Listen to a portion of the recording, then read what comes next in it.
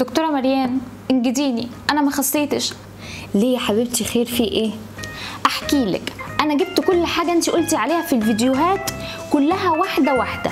رحت اشتريت البايوكات واشتريت ال green tea حتى ال ginger الناقص يا دكتورة. جبته واستخدمته وقعدت أسبوعين أستخدمه ومفيش أي فايدة. طب بالراحة بس فهميني. يعني أكيد في حاجة غلط. قولي لي بقى كنتي بتفطري إيه؟ يعني الأكل مثلا يعني مثلا امبارح اكلتي إيه؟ لأ فطار إيه؟ فطار زي ما انت بتقولي بالظبط. آه طبق سلطة وبيضتين بيضتين عشان بروتين وكده. بيض بيض ممتاز ممتاز. طيب آه، يبقى أكيد كنت بتخربيها في العشاء ولا إيه؟ العشاء؟ لا يا دكتورة عشاء إيه؟ انت قلتي مش قلتي كوباية زبادي؟ أنا كنت بتعشى كوباية زبادي وممكن يعني كوبايتين كوبايتين. خلي الدسم يا دكتورة خلي الدسم. ممتاز ممتاز. يعني بتفطري بيض وبتاكلي آخر حاجة زبادي حاجة ممتازة. يبقى الغدا. أكيد المشكلة في الغدا. كنت بتتغدي إيه؟ أهو الغدا. الغدا ده أنا ملتزمة على الآخر فيه. طبق السلطة المحترم وربع فرخة وحتة عيش. ربع عيش بس. ممتاز ممتاز. يعني سلطة وفراخ وحتة عيش صغيرة. ده مثالي جدا جدا. بس أقول لك يا دكتورة اصلي أنا كنت عاملة يعني صينية مكرونة بشاميل للولاد علشان يعني هما بيحبوا المكرونة. فأنا خدت حتة صغيرة قد كده يعني قد الصباع. أكلتها مع الأكل بتاعي بس عشان ما أكسفهمش يعني يا دكتورة هياكلوا لوحدهم من غيري. كلت معاهم حتة مكرونة. يعني كده أكلتي مكرونة وأكلتي حتة عيش؟ الاتنين اتنين نشويات أيوه يا دكتورة ما أكلتش غير المكرونة وحتة العيش. بس يعني كان في شوية رز بايتين من اليوم اللي قبله في التلاجة حتة صغيرة. صعب عليا أرميهم. يعني أكلت ملعقتين بس. ممتاز ممتاز ممتاز.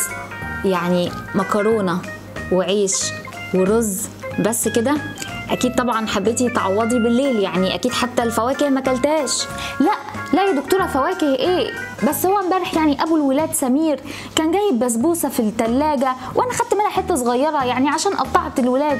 بصراحة يا دكتورة ما أكدبش عليكي نفسي هفتني عليها.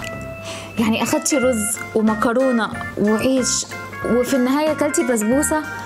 تمام تمام. طب عملتي رياضة عشان نحرق أي حاجة من الحاجات دي؟ كان نفسي يا دكتورة كان نفسي أعمل شوية رياضة خفيفة لكن أنا ما لحقتش بصراحة لأن إحنا كنا معزومين عند سميرة. سميرة؟ سميرة مين؟ سميرة يا دكتورة سميرة أخت سمير جوزي. أصل هي كانت عزماني أنا والولاد كده وسمير على يعني عزومة عائلية عشان هي كانت جاية من السفر. و... وسميرة كانت عزماكم على إيه؟ كانت عزمانه على محشي. محشي يا دكتورة محشي. عزمكوا على محشي. قلبي قلبي.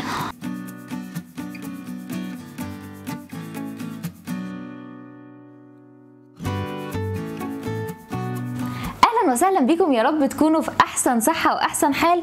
الفترة اللي فاتت ناس جت سألتني إنها مش بتخس بالرغم من إنها بتستخدم الأدوية.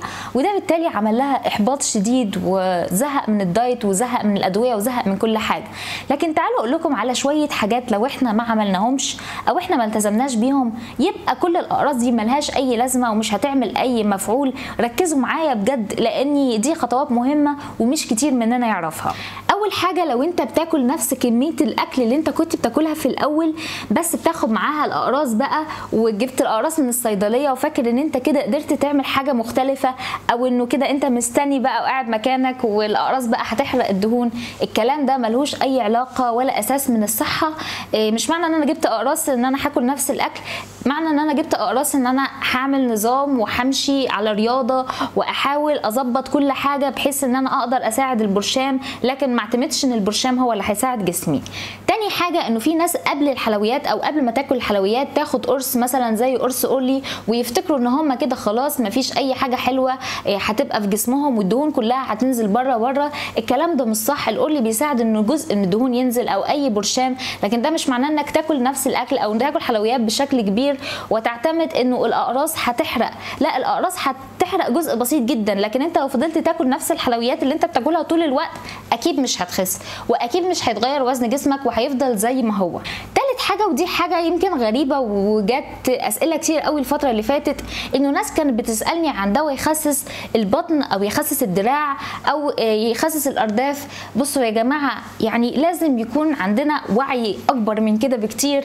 مفيش دواء بيخسس منطقة معينة مفيش حاجة كده في الدنيا.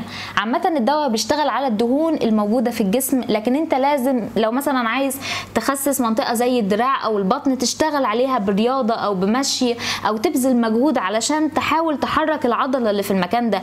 لكن عمر ما كان في حاجة في الدنيا اسمها إن أنا آخد البرشامه الفلانية علشان تروح لدراعي ويبدأ يحرق أو تروح للبطن وتبدأ تحرق. الكلام ده مش صح وملهوش أي لازمة. رابع حاجة وهو لعب الرياضة. لعب الرياضة يا جماعة مهم جدا. على فكرة أنت ممكن تكون بتاخد الأقراص بتاعتك عادي وملتزم وماشي بيها لكن برضو تلاقي وزنك ثابت أو مفيش نزول. الحقيقة إنه أكتر حاجة بتساعد وزنك إن هو ينزل إنك تلعب رياضة. زي ما قلت مش شرط إن أنت تلعب يعني رياضة مجهود كبير أو تلعب HIIT أو تلعب cardio شديد لو أنت بدأت إن أنت تمشي كل يوم حتى ربع ساعة وفي فيديوهات مشي في البيت ده هيساعدك أكتر بكتير.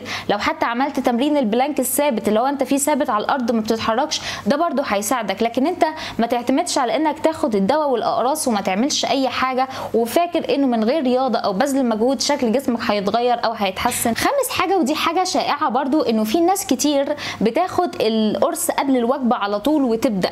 آه هو مش قرص صداع هو مش مسكن للألم. دي حاجة بتشتغل على الدهون بتاعة الأكلة نفسها اللي انت بتاكلها. فلازم زي الميعاد اللي مكتوب في الجرعة بتاعتها أو مثلا لو أنا قلت لكم فيديو أو رديت تلتزم بالميعاد. مثلا قبل الأكل بربع ساعة أو قبل الأكل بنص ساعة ما عدا الأورلي بس. الأورلي هو الوحيد يا جماعة اللي ممكن ناخد القرص منه مع الأكل. لكن أي حاجة تانية دي بتتاخد قبل الأكل بفترة أو بعد الأكل بفترة علشان تقدر تظبط الدهون. لكن ما تاخدش الأقراص على طول وتاكل وتبقى فاكر إنه كده هيحصل أي تغيير كده مش هتحصل أي حاجة والدهون هتفضل زي ما هي. سادس حاجة ودي حاجة طلعت جديدة برضو الفترة اليومين دول إنه في ناس فاكرة إنها لما تضاعف جرعة الدواء إنه الحرق هيزيد أكتر أو الخسسان هيزيد أكتر. يعني أنا لو آخد مثلا قرص بايوكات لو خدت قرصين يبقى أنا كده هحرق أكتر. الكلام ده مش مظبوط تماما. نفس الجرعة هي هي هتشتغل على نفس الوجبة بنفس الطريقة. مش معنى إن أنت بتضعف ان أنت هتخس أكتر. لا خالص. سابع حاجة ودي حاجة منتشرة جدا وإن في ناس بتاكل في حدود سعراتها. مثلا أنا لو عندي 1200 سعر أنا باكلهم بس باكلهم مثلا حتتين جاتو وحتة مش عارفة كنتاكي ومش عارفة إيه. أنا مظبطاهم في خلال السعرات لكن كله أكل غلط. الكلام ده برده مؤذي جدا لأنه جسمك بيفضل دايما بيدخل له كمية دهون زايدة. بدل ما يركز مع الدهون اللي عنده ويبدأ يحرقها بيبقى كل تركيزه على الدهون اللي داخلاله وإزاي يحاول يحرقها وبالتالي بتعاني ثبات في الوزن حتى لو انت ملتزم بكل حاجة وبتاخد الأقراص في وقتها. لكن انت بتاكل أكل مش صحي وحتى في حدود سعراتك يبقى الجسم مش هيركز مع الدهون اللي جواه وكل التركيز هيبقى على الدهون اللي داخلاله. يبقى ببساطة كده علشان نلم الموضوع لو انت بتاخد أقراص تخسيس لازم لازم أول حاجة تظبط الأكل لازم تلعب رياضة لازم تلتزم بميعاد الأقراص لازم ما تحاولش تكتر حلويات وتاكل حاجات مقننه علشان تشوف نتيجة حلوة جدا وتبقى راضي عنها وعشان ما تظلمش الدواء وتقول الدواء ما جابش والدواء ما عملش لا أنت عندك جزء كبير جدا لازم تعمله. أتمنى يكون الفيديو عجبكم لو عجبكم الفيديو ما تنسوش تدعموني بال like وال subscribe وتشاركوا الفيديو مع أصحابكم عشان نوصل المعلومات لكل الناس وأشوفكم إن شاء الله على خير في حلقة جديدة ومعلومة مفيدة. باي باي.